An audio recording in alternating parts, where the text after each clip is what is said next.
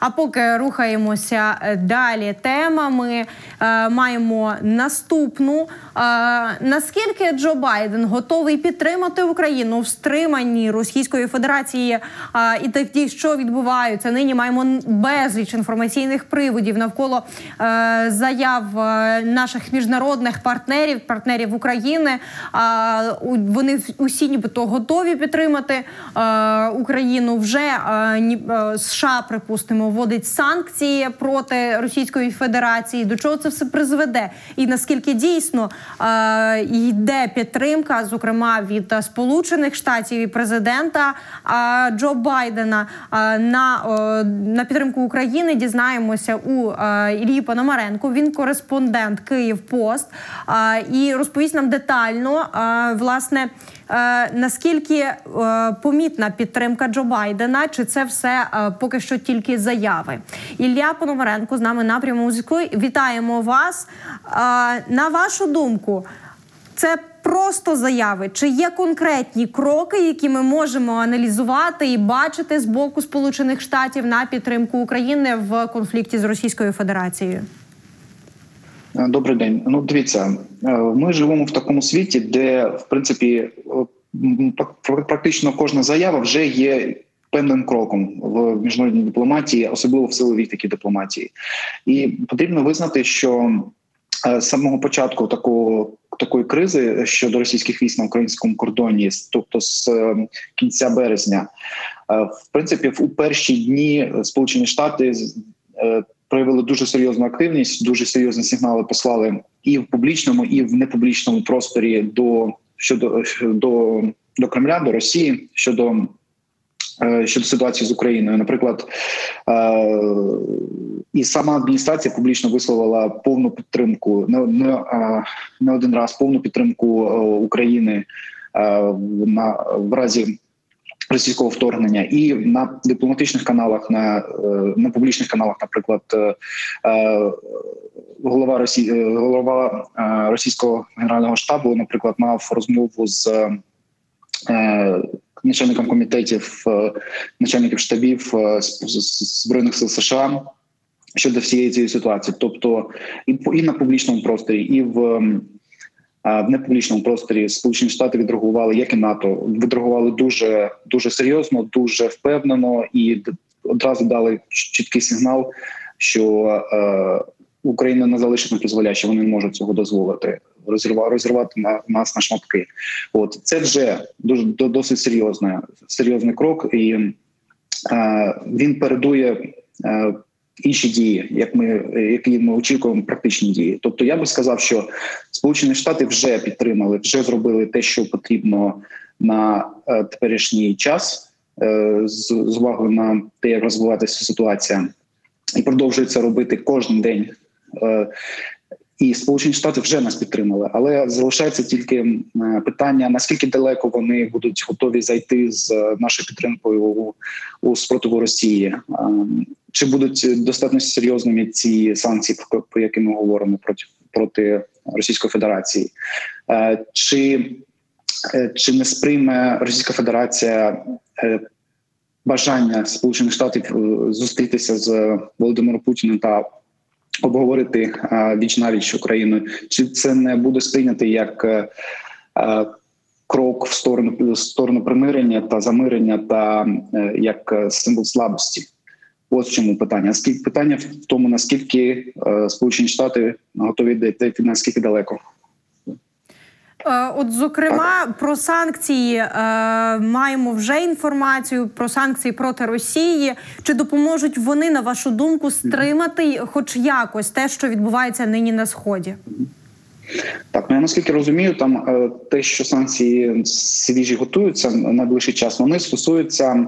Е, втручання Російської Федерації у виборчий процес Сполучених Штатів, тому формально вони не пов'язані з Україною, наскільки я розумію. Але тим не менш, е, ну так е, як ми. Часто бачимо в голові е, в мисленні російського керівництва, зокрема і російського президента Путіна, все це все це має такий комплексний дуже характер. Все, що стосується протистояння з, з, з Сполученими Штатами і Україна, і вибори, і інші питання, все це є в комплексі. Тому, якщо Сполучені Штати демонструють серйозну силу, серйозну рішучість е, та протидію, тому це сприймається сигналом для всього всього цього е, дипломатичного е, силового фронту, включно з Україною. Тому я б сказав, що якщо це буде навіть е, санкції не пов'язані напряму з Україною, але пов'язані е, з тим, що е, що Кремль робить на зовнішній арені, в даному випадку американські вибори, то це буде сприйнято як в цілому серйозний шаг і серйозна протидія. А як вже десятиліттями говорять ті, хто добре розуміють, як мислить Кремль ще з радянських часів з холодної війни, що вони розуміють тільки мову сили, мову протидії і будь-які е, настрої щодо перемир'я, щодо е, якогось діалогу, вони сприймають тільки як е, слабкість, і вона тільки заохочує їх для подальших агресивних дій. Ілля, дякуємо вам за ваш аналіз і за те, що доєднуєтеся до нашого ефіру. Чекатимемо на реакцію на ці санкції, зокрема, і наступних кроків світової спільноти в підтримці України на в конфлікті з Російською Федерацією. Ілля Пономаренко, кореспондент з питань оборони, видання Київ Пост з нами був на прямому зв'язку. Нагадаю, що спілкувалися про підтримку Сполученими Штатами України. Джо Байдена, зокрема у США, часто називають президентом, якому спад випадок дісталася найбільша кількість криз. Скупчення російських військ уздовж кордонів з Україною стало кризою перших ста днів його президентства. Цей виклик змушує США дати чітку відповідь, до якої міри американці готові допомогти Україні зупинити російський наступ, зважаючи на острах переростання а, брязкання зброєю на кордоні в справжню гарячу війну.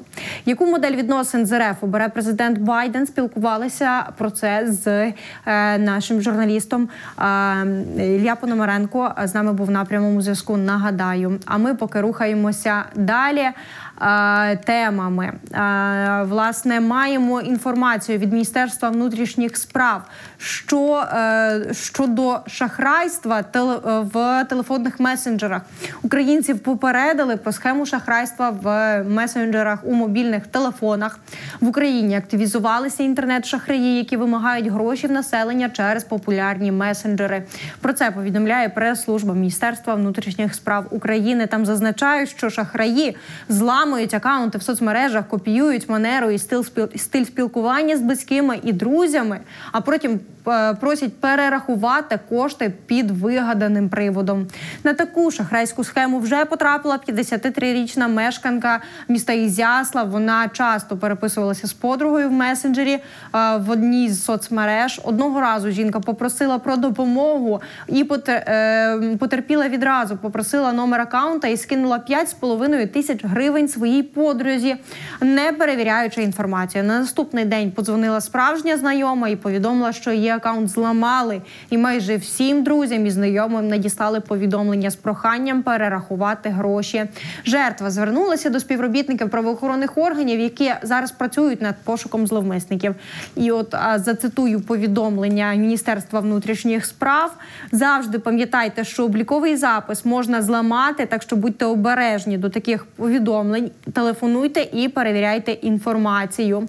Нагадали в міністерстві внутрішніх справ. І, от, власне, моя вам порада ставити на усі месенджери і соціальні е, мережі подвійну автентифікацію, аби ваші е, акаунти було важче зламати шахраям, бо вони нині дуже вигадливі. От як е, повідомили в МВС, навіть копіюють манеру спілкування, яку можуть прочитати у листуваннях, які вели ви особисто. Тож будьте пильними, аби не стати жертвами шахраїв і не потрапити на їх гачок.